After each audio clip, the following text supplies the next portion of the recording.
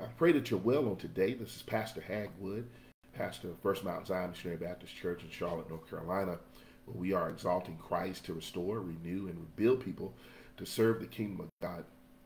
Thank God for you on this morning and for those that will be joining us. This is a Sunday school hour. Um, wanted to start a little bit later uh, on today. Uh, first of all, before I go any further, happy Palm Sunday to everyone. This is Palm Sunday. Uh, next Sunday will be our Resurrection Sunday, and this course this week will be our Passion Week leading up to Resurrection Sunday. And I wanted to just uh, wish everyone uh, again happy uh, Palm Sunday on today. For those who don't know what Palm Sunday is, uh, this is the this is the, the, Sunday that commemorates the entry of Jesus Christ into Jerusalem uh, during Passover, uh, and this begins the trek toward the cross of Calvary uh, during this week. And so today commemorates that, and normally commemorate that with palm leaves. And you can read this in the Gospels.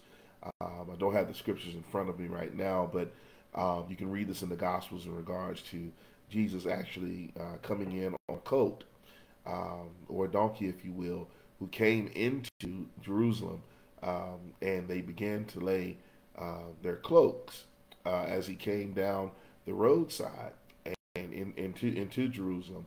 And uh, for those who did not have cloaks, they began to grab palm leaves uh, off the trees and began to actually place them before Jesus' feet um, and the colt's feet as the, as the as he um, was being uh, carried on the back of a donkey during the course of um, that entry um, into Jerusalem. And so um, uh, again, um, this is when they began to say, Hosanna, Hosanna, blessed be the one who comes in the name of the Lord, uh, the one who will save us. Okay. Uh, and so with that uh, begins the process of uh, the Passion Week and leading all the way up into the crucifixion of Christ and then also the resurrection of Jesus Christ um,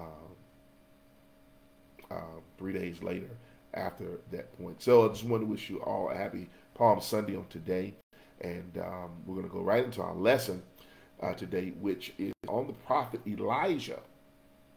And it says, Elijah, the prophet of courage. Elijah, the prophet of courage. So let's have a word of prayer very quickly before we get into our lesson today. And for all those that will be joining or watching, please feel free to share this.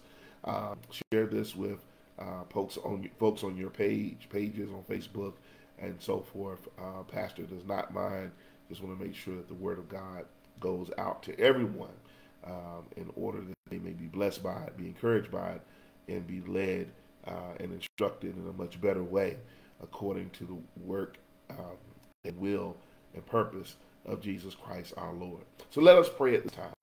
Father God, we thank you and praise you, Lord, for today.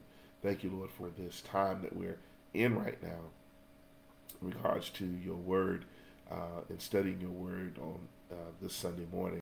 We ask, Lord, that you meet us in this place and allow your glory, oh God, to uh, be around us, oh Lord, inside of us, uh, surround this place in the virtual space, so that, Lord, we not only just get through the lesson, but more importantly, oh Lord, that we gather from the lesson instructions that we can live our lives more according to you.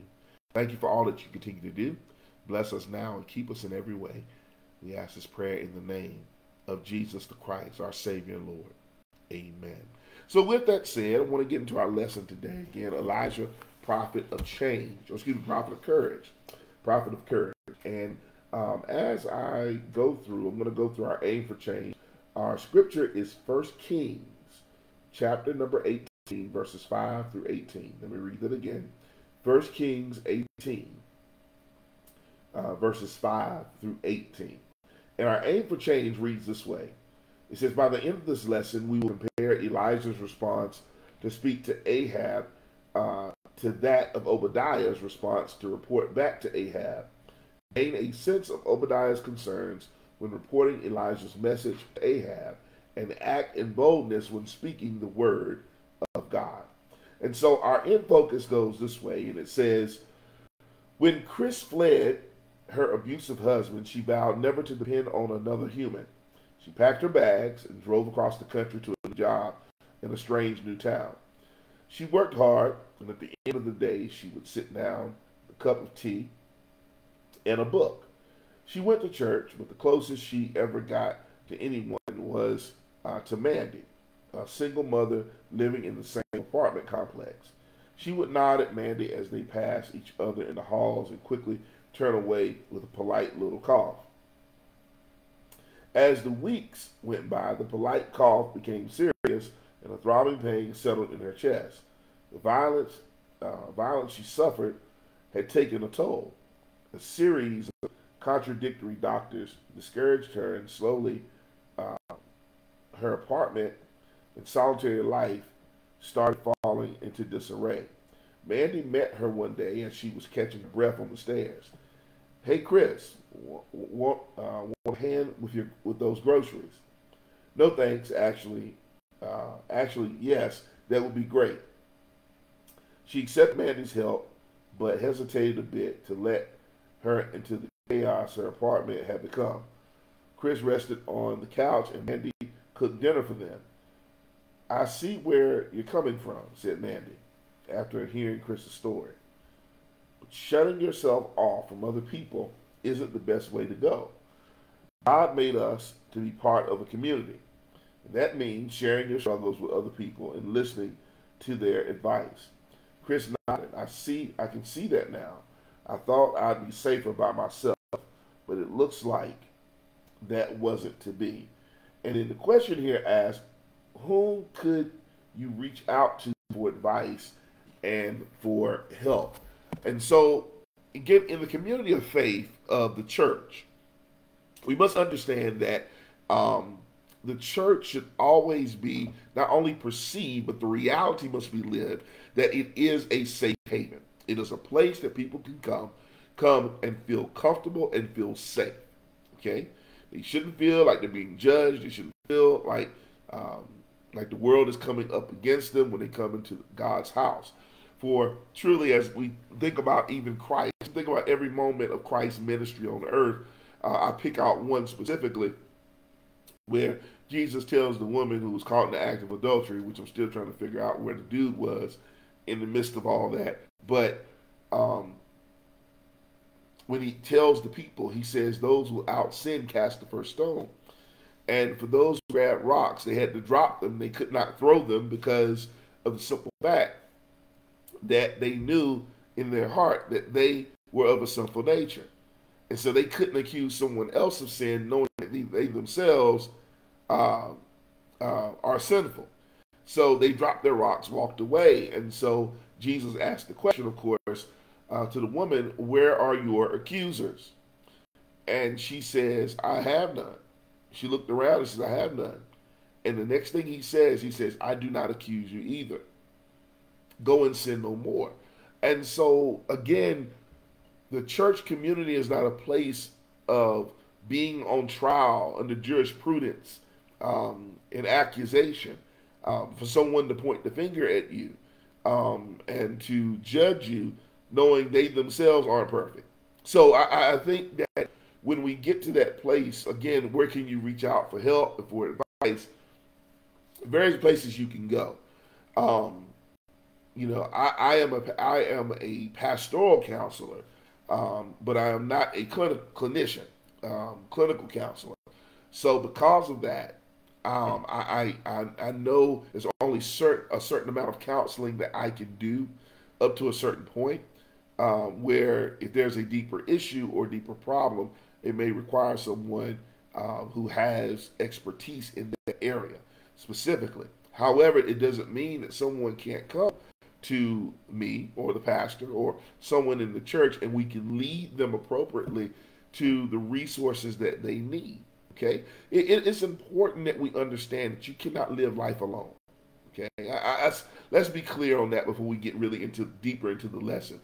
You you cannot live your life by yourself.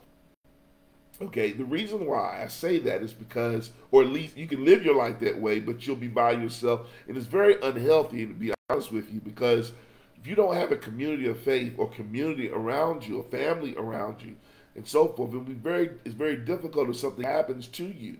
Say you get sick. Say that you're at home and you fall uh, and get hurt, and you you need someone to help you because you can't help yourself. It, it's um, I know that's an extreme case, but um, uh, when you're dealing with something that is uh, downtrodden you, that's really uh, got you weighed down.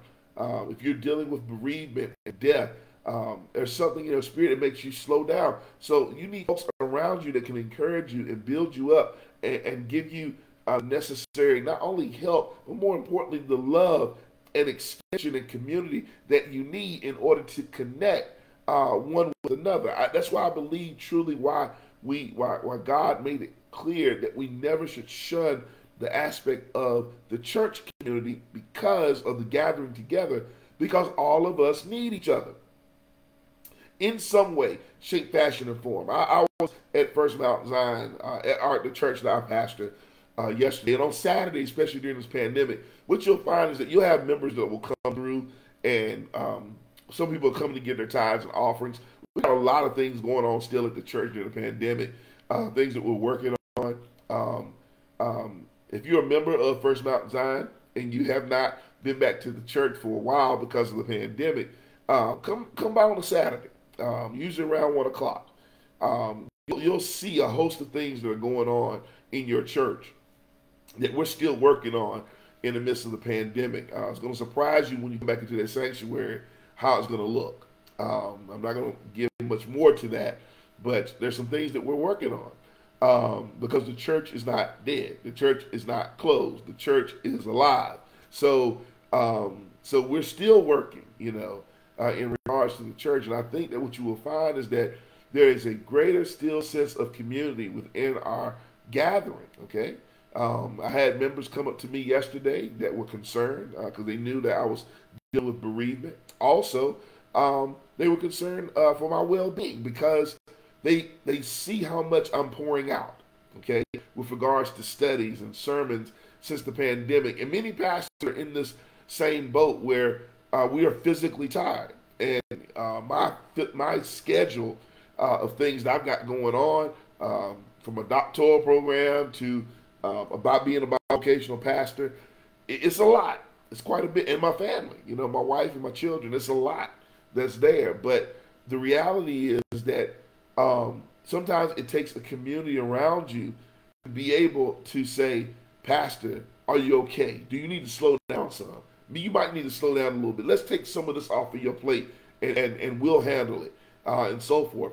And it's good to be in a community of faith like that because, again, it tells you, one, that you're not alone. Not only with God, that God said he would never leave you nor forsake you, but I also believe that when he said that, it wasn't just from the standpoint that he said he wouldn't leave you nor forsake you, but that he would place other people around you to make you feel that same love of God because he created those same people in his image, in his own image. And because of that, we are never alone. That's why it's so important to be a part of a community of faith. And you can we can reach out to one another, uh, get advice from one another in a confidential manner, and to be able to help one another along this journey of life.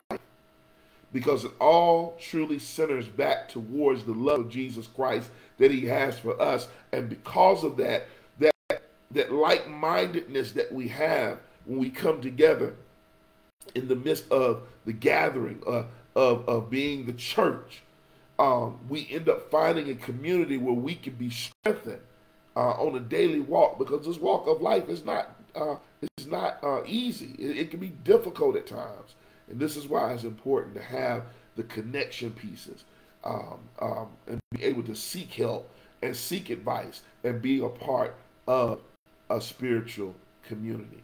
Um, I am big on church. I'm just big on it uh, because I believe, that, and the reason why is for me, I'm, I'm so, uh, it, it's so paramount in my life because from the time I was small, uh, time I was eight, nine years old, I just saw how church helped me. Okay, I look back at it now, and for every other place I possibly could have been, it was good that I was at Sunny Home Baptist Church in Eden, North Carolina. That we had a community of faith there. That literally we did so much stuff together, and um, no one ever felt alone. And when you're living in a smaller town, it's even much tighter. Okay, and and that uh, church community even you know helps mold. Um, I can think of all types of events that we did. You know, from Sunday school trips, um, uh, with um, our superintendent of Sunday school at that time. Uh, he, he was then Deacon Arnold uh, Arnold Wilkinson, but now uh, he's a, he's um, a minister of the gospel, uh, Minister Wilkinson, and uh, him directing. We going to Carowinds and going to King's Dominion, up uh, up on the other side of Richmond, Virginia, and places of that nature. And it was just awesome to be able to do that and be in a community of faith that we that we were tied to. Um, um, many of my, of course, childhood friends and things of that nature, and their parents. We were all part of this community uh, of faith, and uh, many of my most fondest memories um, um, in my childhood go back to St. Home Baptist Church, uh, and not only my spiritual growth, but just the community, the community of faith, and that's important. That's important to be able to have because as life goes on, and as all life has its vicissitudes and it changes and moves back and forth. What type of community are we a part of? Is it a healthy community? Is it a healthy spiritual community to get advice from in order to be able to be healthy spiritually and emotionally as we walk uh, through life and as we deal with the challenges that life presents, but know that we have a God that is much larger and much bigger than any challenge that we could ever face. So that's something that we can uh, uh, always keep in mind. Remember, um, uh, to the one who's able to do exceedingly abundantly above all we could ever ask or think, according to his power that works in us. That's Jesus.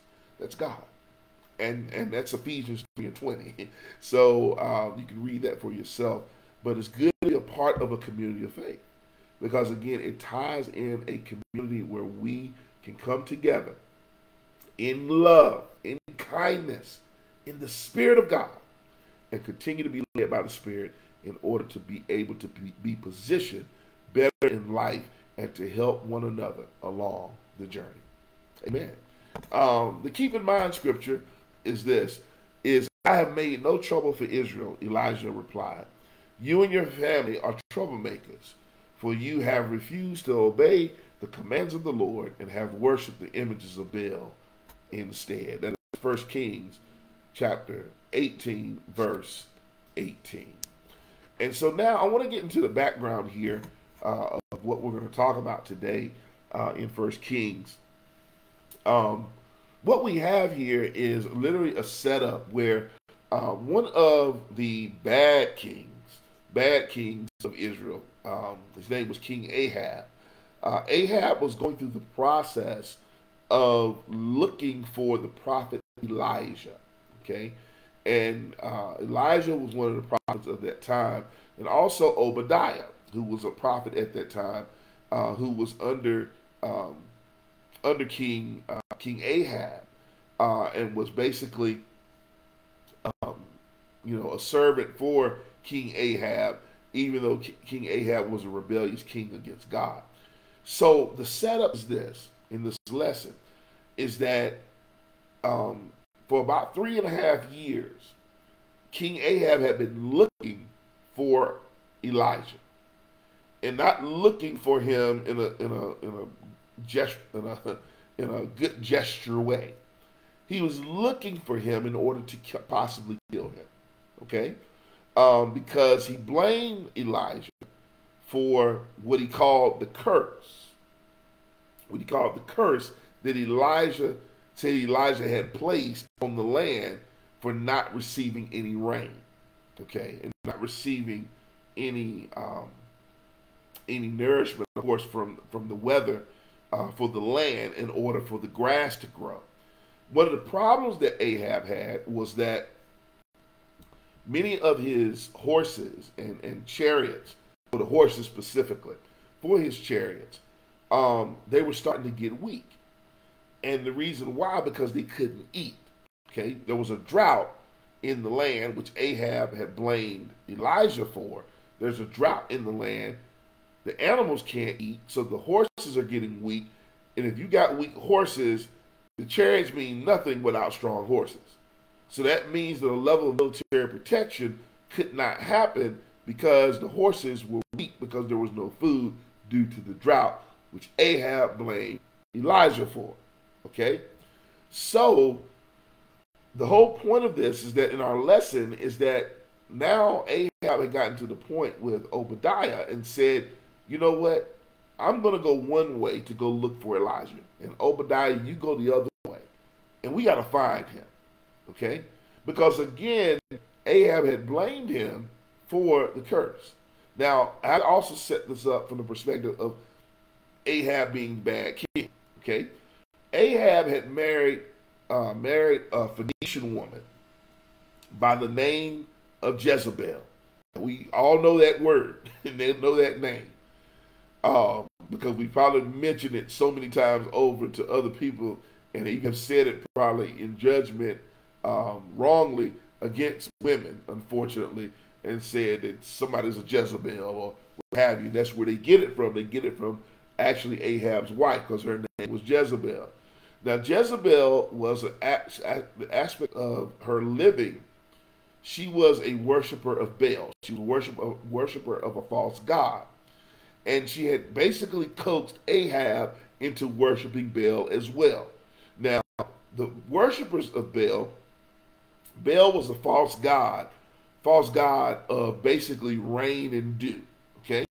Which is very oxymoronic or contradictory, if you will, when you really think about it that why would Ahab be blaming blaming Elijah for not having any rain when he is worshiping supposed to be worshiping a God that controls the rain and dew. Okay? So you see how false worship can get you misinformed in regards to what you're seeing or, or how you're visioning various things uh, spiritually um, when you think you're not doing anything wrong and you actually are. And so that worship of Baal, um, again, was not looked favorably upon, of course, by God. And God made it a point for the land not to get any rain. Okay? And of course, Ahab blames Elijah for it from the simple fact that um, Elijah was very bold in calling out Ahab and calling out his indiscretions. And this is where a large part of the issue comes in with regards to the lesson that we're in because now it's so much of a drought that now they can't defend themselves because of what I just stated before. So what ends up what ends up happening is that there's now uh, the search for Elijah. Okay, they're looking for him. Okay, they're looking for him, and Obadiah has truly the spirit of God in a very mild and, and tender sense.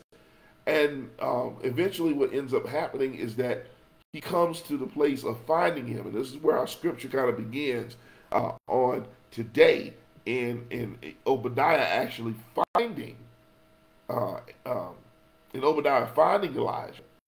And then this aspect of conversation, if you will, between Ahab and Elijah begins to ensue.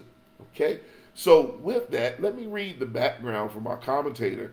And for those that are joining us, uh, we have about 20 folks on. That's great. Um, pre- Precepts for Living. This is the book that we use at First Mount Zion by the Urban Ministries Institute.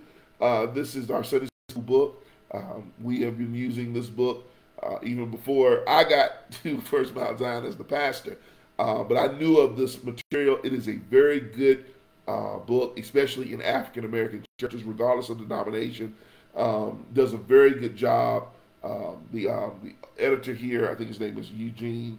No, Melvin E. Banks, Dr. Melvin E. Banks. He does an awesome job. Um, they just do an awesome job with regards to Sunday school lessons. This is what we use our Sunday school lesson precepts for living, and this, course, is the edition for 20 uh, for 2020 2021 um, that we that we're using. So, just wanted to show that to you. Um, the background goes this way from from the commentator says God's law clearly commanded never to, to worship false gods. Exodus 20 and 3, Deuteronomy 5 and 7. Uh, not to invoke their names, um, that's in Exodus 23 and 13. Not to marry their adherents or practice any of their customs. Leviticus 20 and 23, 2 Kings 17 and 15.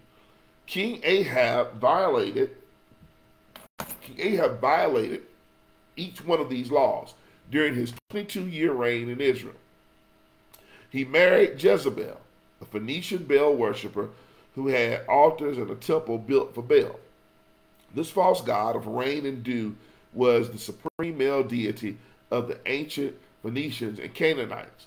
Their rituals included illicit, sex, ritual prostitution, and child sacrifice. God's prophet Elijah confronted King Ahab. The first, uh, the first time Scripture mentions him, he appears before King Ahab, announcing the drought to come upon the whole land because of the nation's sin. This is why Ahab blamed him. Okay, remember, all Elijah's doing is telling what the Lord told him and telling it to the people. But of course, in most cases, it's the messenger that gets fired upon because of the word that God has spoken through him. So uh, that's in First Kings uh, chapter 17, verses 1 through 7. This one verbal threat by a lone prophet of God challenged the worship of Baal, who was supposed to control the rain. You see, that's what I said, said before. Um, instead of Ahab and Jezebel acknowledging God and repenting, they were furious.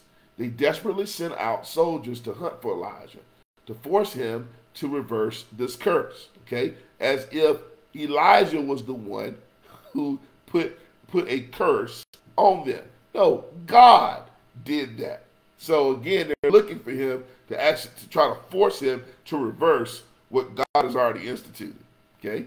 And the question here says, how have you pushed back against God instead of acknowledging him and repenting him? Oh, we could go for we could go for years and ten thousand lifetimes over this one. Because again, um, oftentimes we we we have this level of rebellion against God, against doing God's will, doing it God's way. And this is why we have to consistently ask for forgiveness uh, for sins of omission and commission. Omission meaning those sins that we knew we did and we knew it was sin. And even those of commission that we didn't realize that were, was sin, but when in hindsight, we realize, okay, we probably sinned against God and maybe someone else in regards to, you know, in regards to what we said or did. So this is why it's important that um, um, we understand how have we pushed back on God because at the end of the day, we're we're trying to fall in line with the order of what God wants us or how He wants us to live, and what that means for us is that there is a lot of, a lot of challenge that God places really in front of us regards to what He's instructed. It's not to cause the aspect of restriction. It's really there to protect us. And when we do it God's way, what we find is is that doing it His way, we end up finding a path.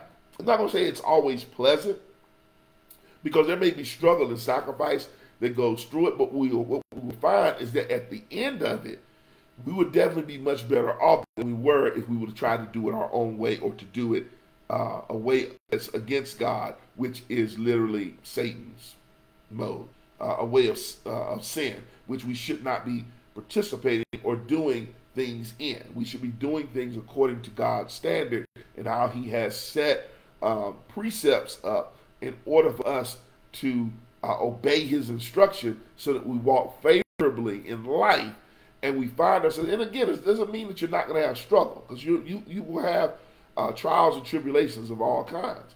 And so, with that, um, there's a lot of things that will come, but if we do it God's way, even with the struggles and the sacrifices that we deal with, we will find at the end of it, it's definitely much better off for us, and that God already had that plan and position before um, we even uh, would recognize uh, our obedience to what He was telling us to do. Okay, if we do that, we do that and walk in His statutes and way, ways, I, I would guarantee you that on the in the back end of it, we would definitely be much better off than we were if we would have tried to go our own way. Okay. So with that being said, uh, this is why it's so important that we repent to God.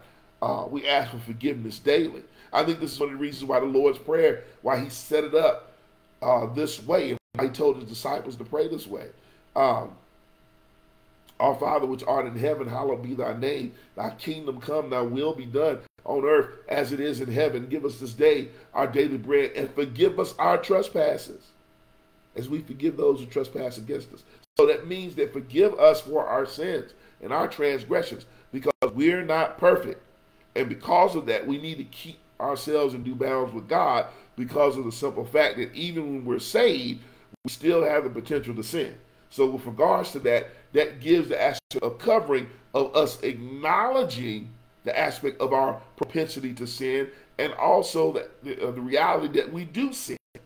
But to place that back before God, to ask God for forgiveness of it, so that we are back in line and in order to His statutes, His will, and His way, and we are led by way of the Holy Spirit to doing and performing um, the instruction of God the way God has asked. That's why, again, we're not perfect. We serve a perfect God. That's why we yield to God and yield to His instruction because we are dependent upon that in order to lead healthy lives spiritually. Okay? Um, let's go a little further. Let's go into the scripture itself on, on today. Uh, I'm going to do a real quick check in. Um, 30 minutes in. Let me see who's out there. Um, Sister Modestine, uh, Ted Wilson, Justine Wilson, Sister Melissa Adams, Sister Judy Ware, uh, Sister Prudence Wilkes, uh, Brother Will Clark. Hope you well, sir. Sister Anita Jackson Best, uh, Sister Darlene Pegram, um, you're welcome, Sister Pegram, for those scriptures last week. Uh, I pray that they definitely help. Um, uh, help again in the conversation that you had with your your coworker. Um, Deacon Eddie Scott, Sister Mildred Scott, Sister Doyle Fair, um, Sister Francine Bailey, Deacon um, Clark, uh, Deacon Marion Clark, Sister Teresa Reed, Sister Georgia Springs, uh, and Sister Joan, Joan uh, McCall Trap. I pray that you are well uh, on today. Um, all of everyone that's here uh, uh, looking at us via online, we thank God for your presence on today. Let me keep going further into our lesson today. Um, 1 Kings 18, this is our scripture. 1 Kings 18, verses 5 through 18. Um, let me make sure I got that right. Yeah, 5 through 18. So I'm going to start, I'm going to read through the scripture, and then we're going to break this down over the next 30 minutes or so. From the New Living Translation, it reads this way Ahab said to Obadiah, We must check every spring and valley in the land to see if we can find enough grass to save at least some of my horses and mules. So they divided the land between them. Ahab went one way by himself, and Obadiah went another way by himself. As Obadiah was walking along, he suddenly saw Elijah coming toward him. Obadiah recognized him at once and bowed low to the ground before him. Is it really you, my lord Elijah? he asked. Yes, it is, Elijah replied. Now go and tell your master, Elijah is here. Oh, sir, Obadiah protested, what harm have I done to you that you are sending me to my death at the hands of Ahab? For I swear by the Lord your God that the king has searched every nation and kingdom on earth from, uh, from end to end to find you and each time he was told, Elijah isn't here.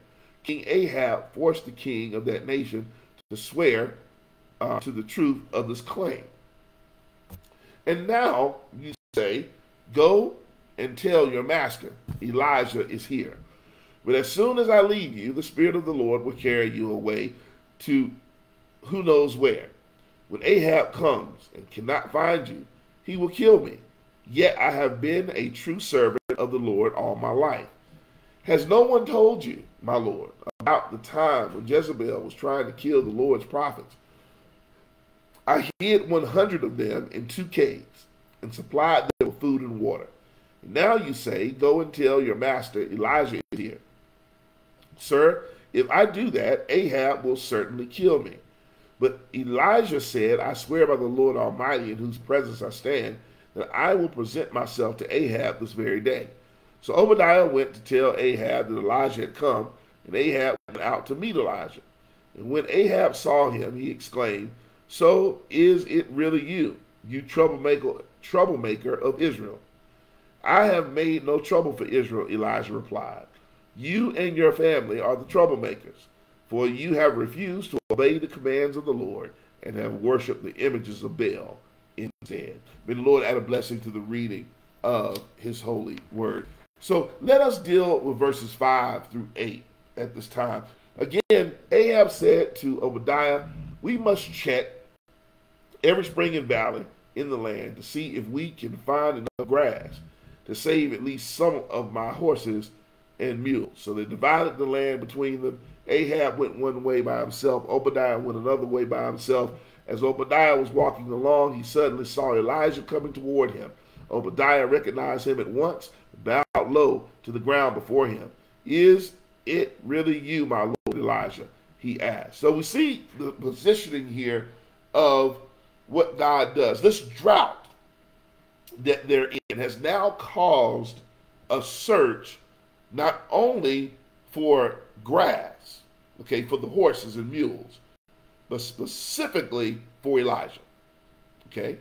So, because of the move of not having not having grass, I'm I'm gonna stay right there right now. For not having grass for the mules and horses has now caused Ahab and Obadiah to go out and search for the one who gave the proclamation message, saying that there would be a drought in the land. They attribute the drought to Elijah, even though they were told that they were told by Elijah that God was the one who said that they would go through the process uh, of having a drought because of their disobedience. So instead of looking at themselves as the reason why the drought is happening, specifically Ahab, they want to blame the messenger. They want to blame Elijah. And they know that uh, God was the one who ordered ordered it. Elijah was just the messenger, but because he was the one who said it, and now the drought has happened, they're blaming him. When Elijah specifically told them that it was because of their disobedience of why the drought was happening, or why the drought came. And I want to circle this for us in the present context for which we live. Have you looked at yourself? Okay, and this is a question you just need to ask yourself. Have you looked at yourself and asked yourself, maybe it's the things that I'm doing is the cause of why I don't feel spiritually refreshed and watered in the day and time that I'm living in right now? Keep this in mind. Because it's very easy to blame the messenger. Okay? You know how many times I, as a pastor, have been accused of um, saying something against someone when they really weren't on my mind. I was just doing what God told me to do through the message and the word that He had given me. I don't know how God is going to affect that word when it goes out. Only thing I can do is be obedient to what God has given me and to be able to to expose it and to be able to be an expositor of it and sermonically project it or to teach it in order to help us. Because sometimes aid and help for us hurts. It hurts sometimes, but not hurting to the point of death.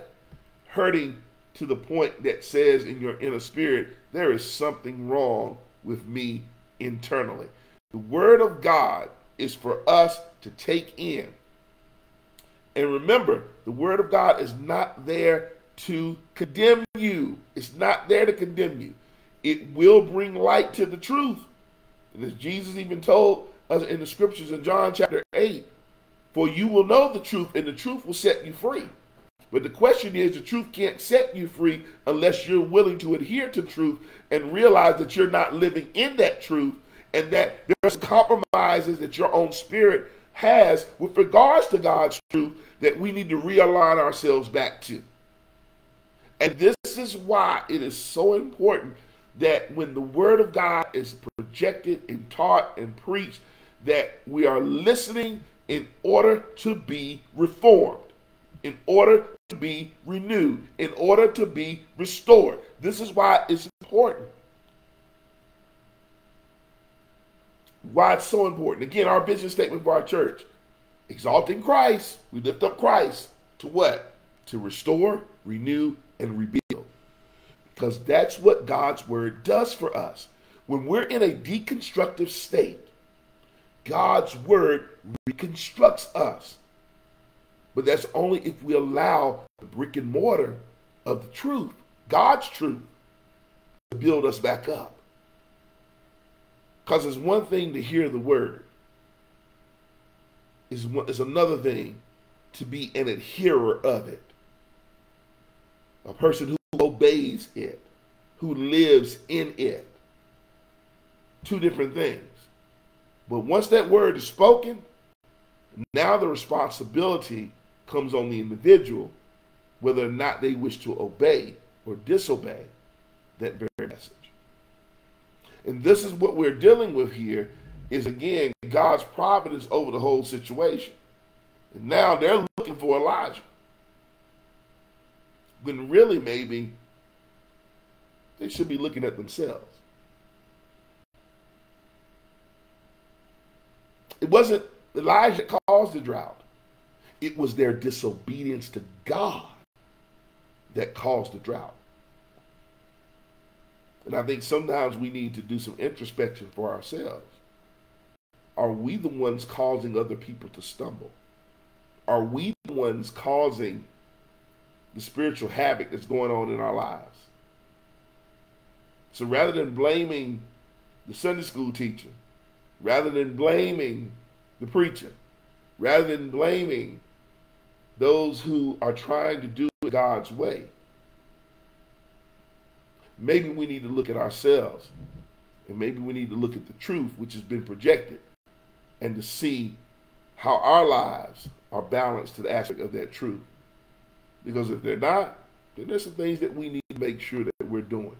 And that's across the board. Pulpit to pew. Doesn't matter. Preacher to congregate. Doesn't matter. At the end of the day, we must be challenged by the word of God.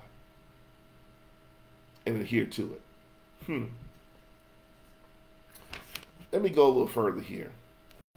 Commentator writer says it this way is a question I want to deal with. Since feeling the effects of the drought, King Ahab and his chief servant Obadiah discussed trying to find grass uh, for the royal horses. The king fears for his safety if his horses died. No army to protect him. Ahab and Obadiah uh, agree to search the area in different directions. As Obadiah combs the area, Elijah, the missing prophet, walks towards him. King Ahab had looked diligently for Elijah for three and a half years, determined to force him to reverse the drought. The leaders in the surrounding countries joined in the massive hunt for the prophet. No one located him. They swore to the king that no one individual had laid eyes on Elijah. However, by the providence of God, Obadiah and Elijah traveled down the same path. Obadiah recognizes him and bows with his face to the ground in reverent fear and fear, reverence and respect for God's messenger.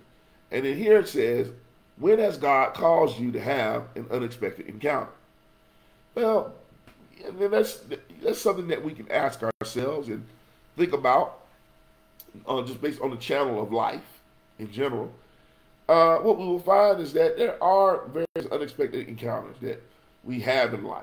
Okay, um, that would prompt us to think about why we had that encounter in the first place. Um, I want you to think about this. Anytime that you have an encounter, any type of encounter, think about this. Especially if it's something that is surprising. After that encounter, I want you to process that. Why did I have this type of encounter? Maybe it was somebody you haven't seen in a while. But maybe the maybe it was something in the conversation. Okay? Because maybe God could have been speaking in the midst of that, in that encounter. So don't, don't over, uh, don't just take for granted or overshoot the conversation. Think about it, especially if it's something you know in your experience. Like that was very interesting. Dig a little deeper into that. Think about that and and, um, and really pray about it because it may be something that God was speaking to you on through someone else who may not have known your situation or what you're going through. Just something that we must keep in mind. Again, um, when we have these certain encounters. And Obadiah had this encounter again with Elijah. Okay? Let's go to verses 9 through 16. Okay? Says, Oh, sir, Obadiah protested, What harm have I done to you that you are sending me to my death at the hands of Ahab? For I swear by the Lord your God that the king has searched every nation and kingdom on the earth from end to end to find you. And each time he is told, he was told, Elijah isn't here. King Ahab forced the king of that nation to swear the truth of his claim. Now you say, Go and tell your master Elijah is here. But as soon as I leave you, the Spirit of the Lord will carry you away to who knows where. When Ahab comes and cannot find you, he will kill me. Yet I have been a true servant of the of the Lord all my life. Has no one told you, my Lord, about the time when Jezebel was trying to kill the Lord's prophets? I hid 100 of them in two caves and supplied them with food and water. Now you say, Go and tell your master, Elijah is here. Sir, if I do that, Ahab will certainly kill me. But Elijah said, I will swear by the Lord Almighty, in whose presence I stand, that I will present myself to Ahab this very day. So Obadiah went to tell Ahab that Elijah had come, and Ahab went out to meet with to meet with Elijah. Now, what's interesting here is Obadiah is scared to death. He's like, okay, first of all, everybody been trying to find you, Elijah. And of all people, I was the one that found you. Or we found each other. But if I don't bring you back to Ahab, and I tell him that I met with you and saw you, but you refused to meet with him, he is surely going to kill me. Okay? Now, it's interesting here, and I'm going to read what the commentator writer says this question. Elijah asked Obadiah to deliver a message. He wants, he wants a face to face meeting with King Ahab. Obadiah responds with excuses. He thinks his master might be suspicious, assuming he knew the prophet's hiding place all this time. Obadiah uh, uh, images an upset king, angry enough to kill him. He also raises another reason for his reluctance. Elijah had a reputation of being in one place and then the Holy Spirit whisking him away to another. Obadiah lacks confidence in Elijah being in this location for a meeting with the king. Obadiah continues giving reasons for refusing Elijah's request. Calls him himself one who truly worships Yahweh since his youth when Jezebel tried to kill all of God's prophets. Obadiah hid 100 of them in caves, supplying them with food and water. The king's servant urges Elijah to realize how much he'd done already and withdraw his demand.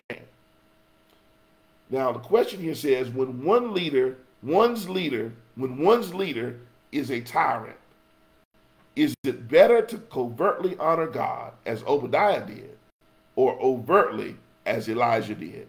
Now, this is a very good question because what it deals with is this the, the definition of what we would call what is bold. Okay? And also it deals with an aspect of the calling of individuals.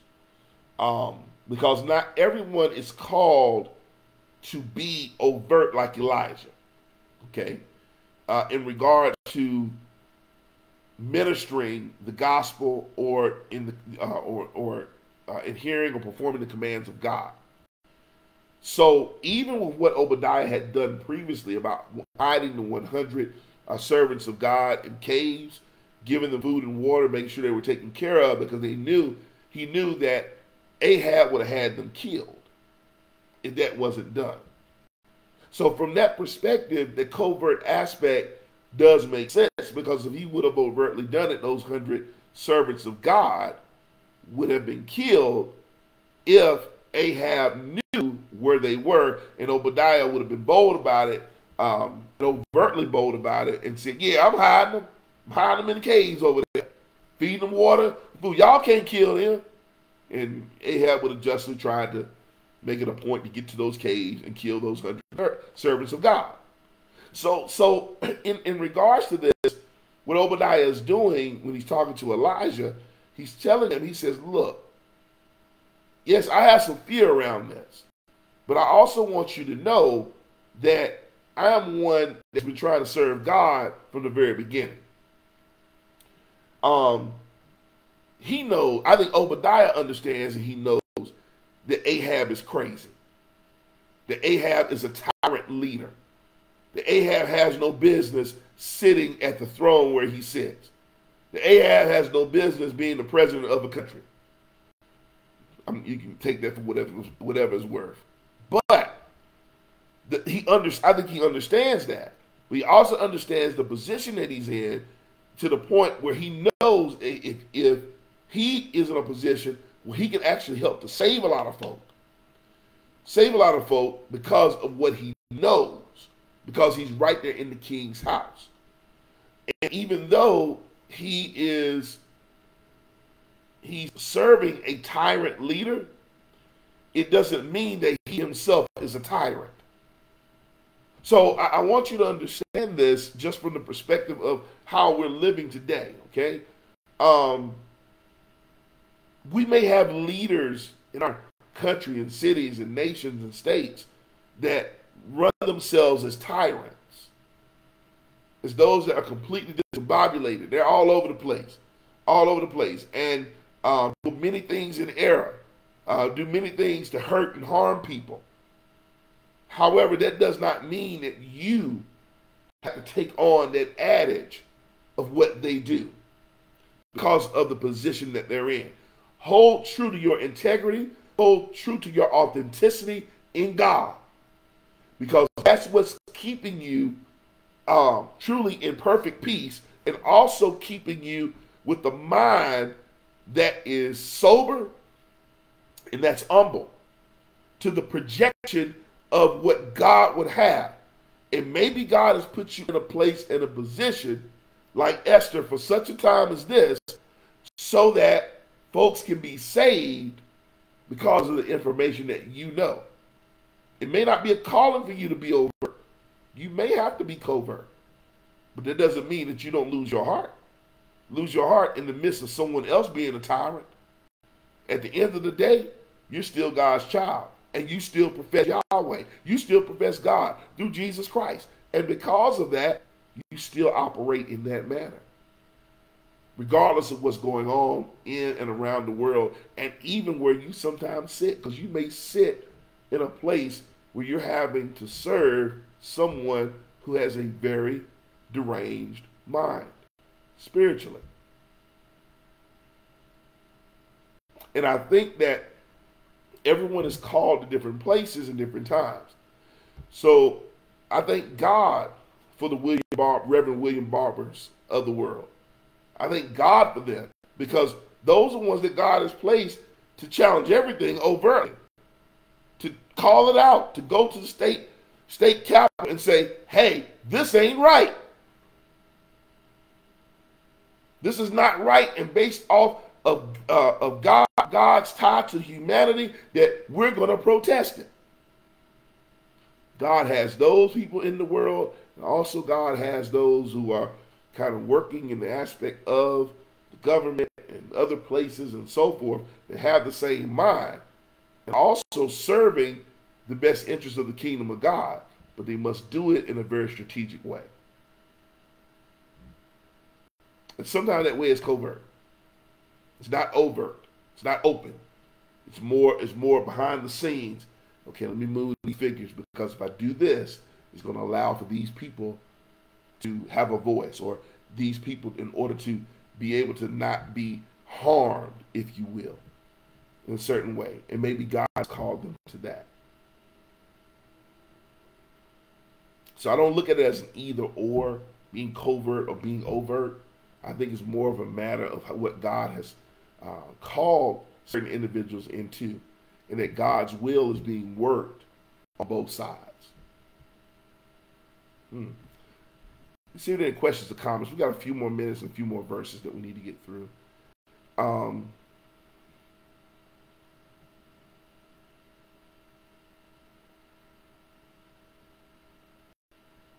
Sister Spring said, hurt which will convict you to make you acknowledge you're not in order of God's will. Yes, yes, yes. I see what you're saying, Sister Springs. So, um, again, hurt that will convict you to the place of acknowledgement. And this is why I honestly believe when Jesus says that you shall know the truth and the truth will set you free, sometimes being set free by the truth is really coming to the acknowledgement that we're wrong. Coming to the acknowledgement that we're messed up. Coming to the acknowledgement that we're doing things incorrectly. And then to be brought back into a place where the truth resets uh, our acknowledgement to God, repentance to God, and then also God's redirecting us back on the path of doing things His way and treating people the right way. What's the right way? Right way is God's way. Right way is Christ's way. Okay? Um, we say right, I'm talking about God's righteousness, not our own. Not our own. Great observation, uh, Sister Springs. Let me go um, into these last verses. Our sister Ware just wrote something. Better to be poor and honest than to be dishonest and rich. Proverbs 28 and 6. Yeah, it's the book that oftentimes will just hammer, um, hammer and hammers that nail uh, right into the wood. Um, better to be poor and honest than to be dishonest and rich. Um, yes, in many respects. And again, that verse doesn't say that you don't have to. Um, there's that there's a sin with having a lot of money. I'm not saying that. It's saying that the aspect of you, of us, all of us, that um, that there's a level of humility that must come every every part of our lives, regardless of what we have materially in this world. So if we have a whole lot of money or riches or resources, that should not preclude us from being humble. we should not be manipulative because we have money. We should still be humble and honest. Really, because God has blessed us so in order to be in the position that we're in financially, if we have a lot of money. Uh, and I think that this is something that oftentimes gets, we think that because, or some people would think that because I have all these material riches, that there's a certain level of power that I have to do whatever I want to do. That surely isn't of God at all. That humbleness and humility must play itself out, regardless of what your state state of life actually is. Let's read these last two verses, and I'm going to go ahead and close out. Um, verses 17 and 18. When Ahab saw him, he exclaimed, Excuse me. So is it really you, you troublemaker of Israel? I have made no trouble for Israel, Elijah replied. You and your family are troublemakers, for you have refused to obey the commands of the Lord and have worshipped the images of Baal instead. Wow. So, what we have here, Elijah refrains from the commentator writer, Elijah refrains from addressing Obadiah's fears and hesitations. Instead, he speaks about the mighty God they serve. Elijah walks in uh, walks in the assurance of God's presence, his shield of protection. He boldly uh, intends to challenge King Ahab, resting in the sovereignty of God. He promises Obadiah that when King Ahab arrives, uh, he will be in that very spot Obadiah, uh, very spot. Obadiah never says another word to Elijah, but proceeds to go and arrange the meeting. Finally, Ahab and Elijah face each other. The king accuses Elijah of being one, uh, the one that disturbed and destroyed his kingdom with the drought. He speaks correct. He, he speaks correctly. Elijah had made the no rain declaration, just a declaration though. However, Elijah places the responsibility right back on Ahab's shoulders. He tells the king about his will, uh, his willful, willfully ignoring and violating God's law. Elijah calls for a showdown on Mount Carmel that will prove the superiority of Jehovah over Baal. And the last question here says, When have you spoken boldly in the presence of fear? Okay, so now the meeting takes place. Elijah really is, he's not scared. Um, and he issues a challenge. And this is where we get into um, First Kings, if I'm not mistaken. Um, y'all excuse me for a second, I'm, I'm turning pages. Um, later in First Kings, I think chapter 18, that's the duel uh, between Baal and God on the top of Mount Carmel. Okay, and so um, I won't go into for you can read that for yourself. Uh, probably one of the most interesting stories in the Bible. It really is to show the significant power of God um, and how how Elijah prayed and fire came down from heaven um, and basically burnt that burnt a soaked altar, um, not just soaked, um, minimally soaked. We're talking about uh, drenched over, uh, drenched over several times over, um, and also a moat built around it that had water in it that was filled up, and that uh, God sent fire from heaven after Elijah prayed and burned up the altar, sucked the water up, basically put a burnt spot where the offering was, boom, and and the altar and the and the sacrifice, and at that point, um, that's when Elijah said, "Look, we know who we know we God is God now," and that's when all of the prophets of Baal were executed uh, and killed um, uh, because of uh, the standpoint of what happened right there in Mount Carmel. That's read when you read a little bit later. But there's a boldness in the presence of the presence of uh, in the midst of fear to have that aspect of boldness. And sometimes it is very difficult. However, for Elijah, the point had to be made that God is God. And so that overrode everything.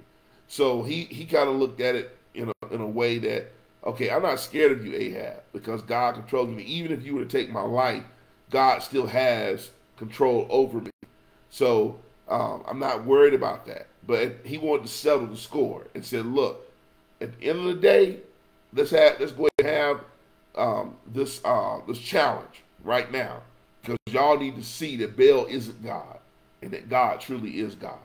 Uh, and he says, who he says it, uh, that God has said, um, God has said who He says He is, and uh, He doesn't have to prove it, but this challenge will make it clear that He is the God of gods. He is the God of Israel. He is Yahweh. He is who you're supposed to worship, and that Baal is not a God at all.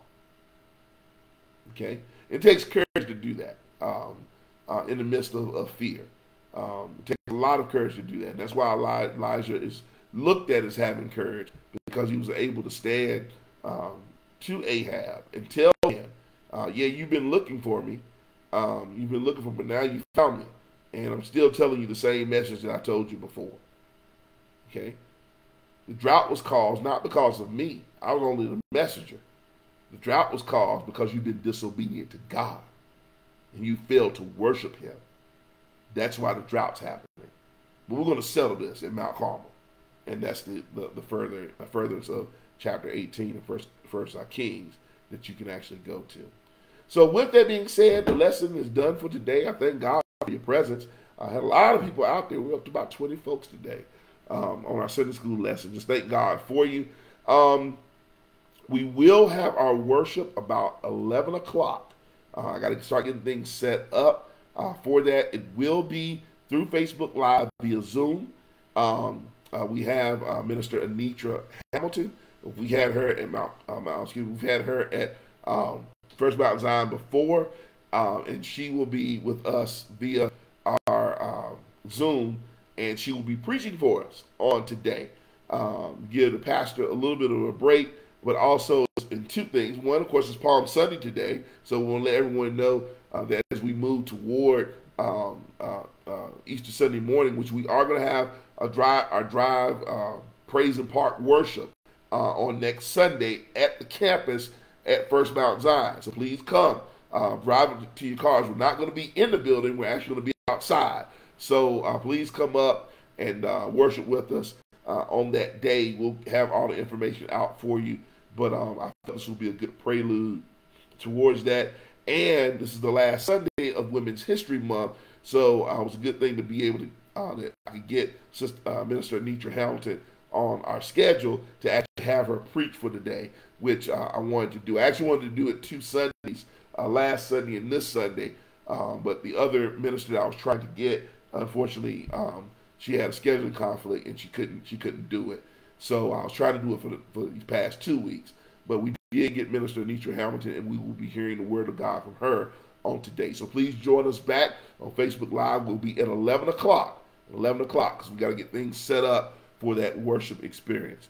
So thank God for you. We're going to have and close out in prayer right now as the pastor will get things set up for our virtual beginning beginning at 11 a.m. on today. Let us pray. Father God, we thank you and praise you, Lord, for this lesson of the courage of Elijah, God, and uh, knowing that we should have courage and be bold, oh Lord, in the midst of um, any fears that we may have or trepidations. We ask, Father, that you lead us and guide us through uh, what has been spoken and said in this word and give us what we need for the journey of life. Thank you, Lord, for what we've experienced on today and give us what we need as we continue to travel down this highway of life. Bless us now and keep us in every way. We love you, Lord. In Jesus' name we pray. Amen. Again, I'm Pastor Hagwood, Reverend Eshawn Hagwood, pastor of First Mount Zion Missionary Baptist Church in Charlotte, North Carolina, where we are exalting Christ to restore, renew, and rebuild people to serve the kingdom of God. God's blessings to you. Take care. Please join us at 11 a.m. Uh, on this Facebook page in order to uh, have our virtual worship on today. God's blessings to you. Take care. Be blessed.